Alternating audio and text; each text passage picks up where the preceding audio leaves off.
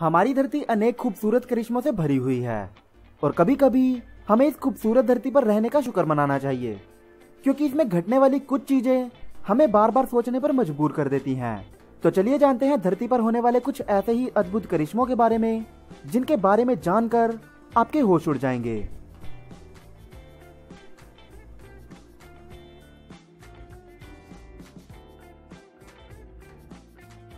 Blood fall. Antarctica, जो कि पूरी तरह से बर्फ़ से कैद है, पर बर्फ़ की इस सफेदी में एक लाल रंग की चीज़ लोगों का ध्यान खींचती है।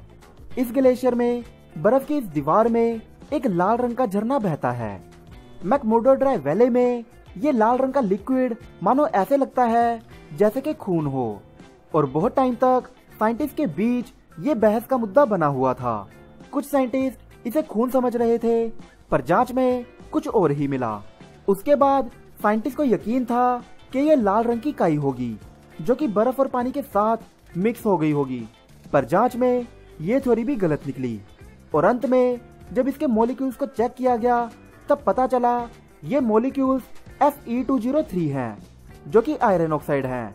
मतलब ये लाल रंग की चीज़ और कुछ नहीं, जबकि जंगाल थी, जो कि पानी में बहुत ज़्यादा मात्रा में थी।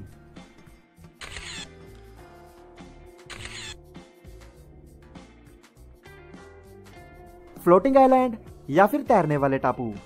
आपने अभी तक पानी में तैरने वाली बहुत सारी चीज़ों के बारे में सुना होगा, जैसे कि लकड़ी, प्लास्टिक, बोट, बर्फ़ और जानवर।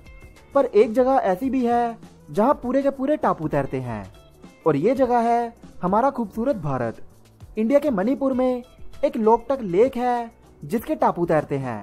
इवन एक जगह से दूसरी जगह पर भी शिफ्ट हो जाते हैं। ये झील इंडिया के नॉर्थ वेस्ट में साफ़ पानी की सबसे बड़ी झील है। और इसमें मानसून के दिनों में टापू एक जगह से दूसरी जगह पर पहुँच जाते हैं। और सूखे के मौसम में ये टापू डूब जाते हैं। इन टापुओं को फुमडिस कहा जाता है। और इस लेक के सबसे बड़े फुमडिस का एरिया तकरीबन 40 किलोमीटर का है। बहुत सारे टापुओं पर लोगों के घर भी हैं, जो कि ज़्यादातर मछुआरे हैं। इवन फुमडिस पर एक स्कूल और एक पार्क भी है, जो कि दुनिया का पहला तैरता हुआ पार्क है। एक्चुअली ये टापू बड़ी बड़ी घास की जड़ों, सब्जियों, मिट्टी और खाद से बना हुआ है। और बारिश के दिनों में इसमें गैस भर जाने के कारण ये टापू पानी पर तैरने लगते हैं और उन दिनों में इनका सरफेस किसी ट्रैम्पोलिन जैसा हो जाता है।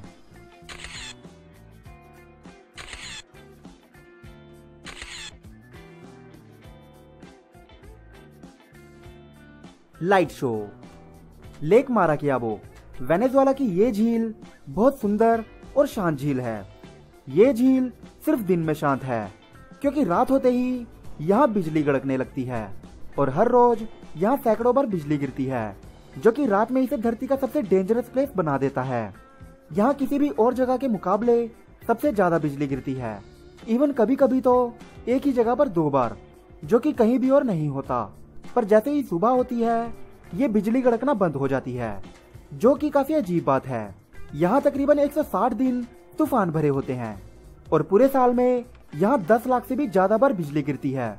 मतलब एक दिन में तीन हज़ार दो सौ सतासी बार यहाँ बिजली गिरती है।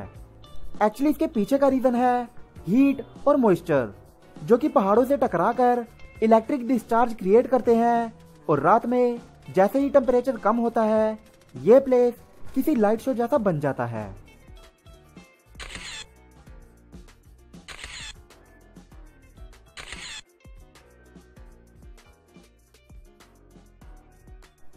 स्प्लिट सी। केरला के मल्लापुरम पनानी बीच पर समुद्र को दो हिस्सों में बढ़ते देखा जा सकता है, जो कि देखने में आँखों को सुकून देता है। 2018 इंडिया के केरला में जब भयंकर बाढ़ आई थी, तब बहुत सारे लोगों के घर तबाह हो गए थे। पर इस दौरान प्रकृति ने एक खूबसूरत क्रिएशन क्रिएट की। जब पानी इस जगह से वापस चला गया, तब बहुत सारी रेत मल्लापुरम के पुनानी बीच पर कुछ इस तरह इकट्ठी हो गई। कि इससे तकरीबन आधा किलोमीटर लंबा पतला ट्रैक तैयार हो गया था, जो कि ऐसा लगता है मानो समुद्र को दो हिस्सों में बांट रहा हो और एक्चुअली मालदीव जैसी फील देता है।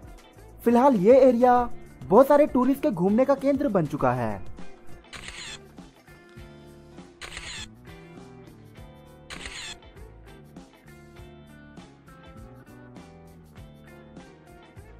हेस्डेलन लाइट्स नॉर्वे की हेस्डेलन वैली के 12 किलोमीटर एरिया में कुछ ऐसा घटता है जो कि आप सोच भी नहीं सकते। यहाँ आसमान में लाल, पीली, सफ़ेद और चमकीली लाइट देखने को मिलती हैं। कभी कभी ये लाइट ज़मीन के बहुत नज़दीक होती हैं और कभी कभी ये आसमान में बहुत ऊपर। कभी ये लाइट्स एक जगह से दूसरी जगह पर बहुत तेज ट्रैवल करती हैं और कभी कभी बहुत धीरे धीरे कभी कभी ये लाइट पाँच या दस सेकंड के लिए होती हैं और कभी कभी ये लाइट्स कई घंटों तक रहती हैं। ये करिश्मा दिन और रात दोनों टाइम देखा जा सकता है और रात में बहुत खूबसूरत लगता है। कुछ लोग पहले इस घटना को एलियंस के साथ जोड़ रहे थे। चार दशकों से चल रहा ये लाइट शो आज भी साइंटिस्ट का दिमाग खराब किए हुए है। कुछ कहते हैं कि झील में रेडियो एक्टिव पार्टिकल्स की वजह से ऐसा होता है, जबकि कुछ का मानना है कि वैली का निचला सरफेस बहुत ज़्यादा सल्फ्रिक एसिड कंटेन करता है। और जब ये पानी के कॉन्ट्रैक्ट में आता है, ये लाइट्स प्रोड्यूस होती हैं, पर कोई भी इस बात पर श्योर नहीं है।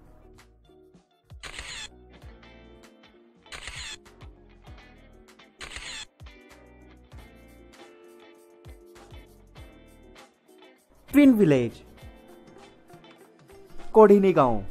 ये गाँव बहुत फ़ेमस है, क्योंकि इस गाँव में बहुत ढेर सारे ट्विंस पैदा होते हैं।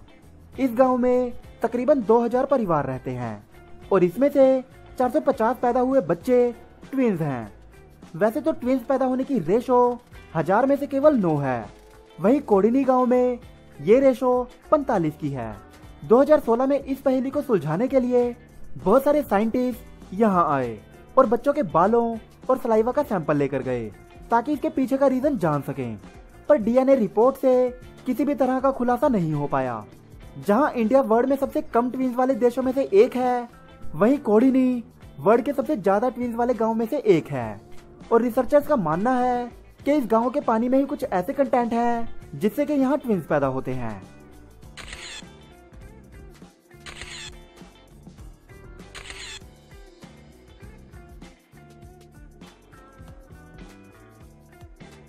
Devil's Kettle Falls Minnesota waterfall USA में स्थित ये वाटरफॉल पहली नज़र में काफ़ी सुंदर और साधारण झरना लग सकता है। इस झरने के दो पार्ट हैं। लेफ़्ट वाला झरना ऊपर से बहता है और राइट वाला झरना थोड़ा नीचे से और अब मिस्ट्री स्टार्ट होती है। ये जो राइट वाला झरना है, ये तो क्लियरली नदी में मिक्स होता है। पर ये जो लेफ़्ट वाला झरना है, इसका पानी इस नदी में नहीं मिलता। यस, जब भी लोग इस झरने में लकड़ी का टुकड़ा डालते हैं तो ये नदी के किसी भी हिस्से से बाहर नहीं निकलता और हमेशा के लिए गुम हो जाता है। साइंटिस्ट को जब इस बात का पता चला तो वो वहाँ आए और उन्होंने इसमें ढेर सारे कलर्स और ढेर सारी पिंग पंग बॉल्स गिरी पर ये कलर्स और बॉल्स इस नदी में कहीं भी नज़र नहीं आए। तो फिर ये पानी जाता कहाँ होगा? हालाँकि इसका पूरी तरह से आंसर नहीं मिला है, पर यह पानी ज़मीन के नीचे जाता है। ऑब्वियस है ये पानी कहीं ना कहीं किसी नदी में मिक्स होता होगा, पर आज तक ये पानी कहाँ जाता है, इसका पता नहीं चल पाया है।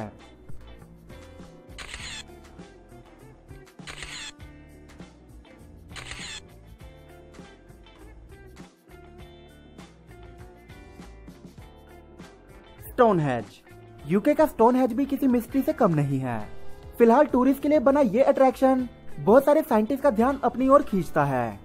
ये स्टोन हैज़ पाँच हज़ार साल पहले बनाने शुरू किए गए थे।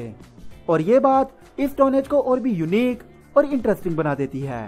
क्योंकि पाँच हज़ार साल पहले इतनी टेक्नोलॉजी भी डेवलप नहीं हुई थी। तब ना तो क्रेन्स थी और ना ही कुछ और।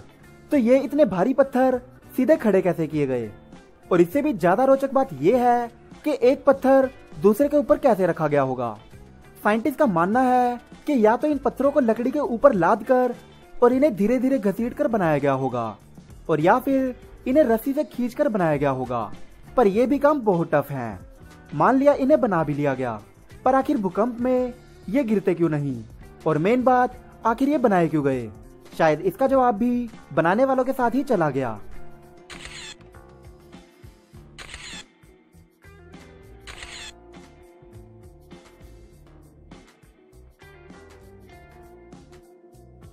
डोर टू हेल तुर्कमेनिस्तान में 226 फीट चौड़ा और अठानवे फीट गहरा एक गड्ढा है, जो कि जल रहा है।